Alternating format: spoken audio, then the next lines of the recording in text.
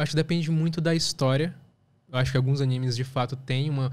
Porque, tipo assim, eu acho muito complexo. É existe toda uma equipe, né, que faz, né? Um, um, roteiro de uma história assim é uma coisa bem complexa, eu diria, né? Não é só um roteirista. Né? É, não é só um roteirista. E tem muita pegada, de novo, igual, igual eu falei, né? A questão. Tem animes e animes, né? Tem uns que tem a pegada mais psicológica, tem outros que não, nem tanto. E, principalmente em filmes, por exemplo, tem muito disso, né? A questão de tentar pegar um feedback de profissionais da saúde se, por exemplo, o personagem tiver alguma questão mental e tal, uma questão de transtorno, algo assim. Então, uhum. Então, no animes é a mesma coisa. Eu volto repetindo a questão do Berserk, né? O Kentaro Miura, que é, faleceu há pouco tempo, faz um tempo atrás, né? O criador do Berserk. A, a forma como ele descreve a, o, o, transtorno, né? Basicamente, os traços que, que, o, que o Guts, o personagem principal, tem de transtorno de estresse pós-traumático é bem, é bem evidente, assim. Bem visceral, né? Exatamente. Eu não assisto, eu não assisto muito as séries, não assisto muito os animes, né? Uhum. Você quer esmiuçar um pouquinho mais a questão desse personagem do Berserk, só pra gente entender aqui? Uhum. É, o Guts é um personagem que, assim, o primeiro Berserk é um, é um, é um anime para maiores de 18 anos, né? Que ele, tem um trato bem pesado mesmo, ele é para adulto. Tem, tem vários tipos, né? Então tem Shounen, que é para adolescentes, Seinen para pessoas adultas acima de 18 anos, né? E o Guts é um deles. Então, o anime se passa na Idade Média, basicamente.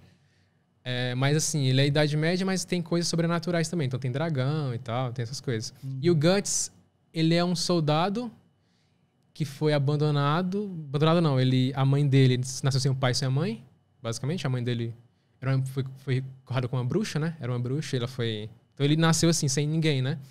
E aí ele passou por, por abuso e tal, sofrimento. Aí ele encontra, os, ele encontra amigo, encontra significado pra vida, depois perde isso de novo. Então ele vive com esse. carrega um trauma, entendeu? Então ele é tipo. É aquela questão do anti-herói, né? Tipo, ele é, um, ele é um cara do bem, vamos dizer assim, hum. mas ele é bem cruel também com os opostos, entendeu? Juntamente com essa carga dele, essa carga antiga dele, essa carga que vem lá da infância e tal, todo o processo. Enfim, uma jornada incrível de Berserk. Tomara que termine o, o, o, mangá, né? Porque eu, como criador, acabou. Como falecendo, a pessoa pega, né?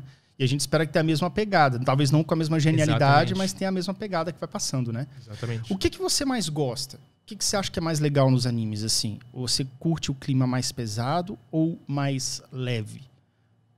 Assim, uhum. você, você analisa... Porque eu vejo que você analisa muito, assim, a questão da, da psicopatia, do pós-estresse do, do é, pós-traumático, uhum. é, questões parentais também. Uhum que, que você mais gosta de estudar nessa, nesse ponto, nesse mundo? É, é mais a questão de. Hoje é mais desenvolvimento pessoal. De tentar associar mais isso, né? Porque o que acontece? Quando eu comecei, quando eu criei o canal, eu focava mais na questão de. Vou explicar um pouco da psicologia, no geral, independente da abordagem. Então, é, e vou tentar relacionar com o personagem para explicar isso, explicar. Aí, a partir do momento que eu fui passando o tempo, o pessoal foi perguntando mais coisas da minha abordagem, né? Que é a terapia uhum. cognitivo comportamental. O pessoal perguntando. Aí eu fui, comecei agora a basear mais os vídeos na minha própria abordagem, entendeu? Por isso os egos ficam um pouco até mais longos até, né? Então, eu acabo esmiuçando um pouco mais. E o que eu gosto é mais isso. Então, tipo assim, é, é a pessoa que vai lá, por exemplo, vê o Midoriya, personagem de Boku no Hero, uma Hero Academia, né? Uhum. E aí ela se identifica alguma coisa com ele Beleza, e eu tento passar alguma visão do que, sei lá, do que ele poderia melhorar ou algo assim, e a pessoa meio que dá uma identificada, entendeu? Porque existe esse processo de, de identificação, esse próprio psicólogo Keith Otler, né? Ele, faz, ele faz, fez estudos, diversos estudos sobre isso, e um deles, por exemplo, é mostrando que, é, por exemplo, palavras evocam não só, por exemplo, vou dar um exemplo aqui, sabão, sabão, né? Sabão é uma palavra que, que vai no córtex, por exemplo, sensorial, que é uma parte que é pra gente sentir, né? O tato. Exatamente. Então, e o sabão, por exemplo, você ouvir a palavra sabão, você vê ela num contexto, você remete à parte do cheiro também. O cheiro, é verdade. Do cheiro. A primeira coisa é o cheiro de sabão, sabão de coco. Exatamente. Então, assim, agora imagina uma história, tipo, visual, cheia de detalhes, entendeu? Tanto que ela evo pode evocar de emoções em alguém, né? Tem um estudo, um estudo bem interessante do Timothy Brown, né? Que é um, um, um neurocientista. Ele fez com Game of, Game of Thrones, você já viu? Já assisti alguns capítulos, já tentei assistir. Uhum. muito bom. Todo mundo fala que é uhum. bom.